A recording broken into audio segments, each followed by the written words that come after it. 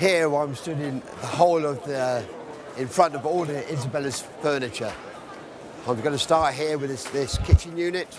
The kitchen unit all folds down and it goes into one bag. It has a table that you attach to it with a wing guard. Also on the left hand side we have a bar comes out for your washing bowl.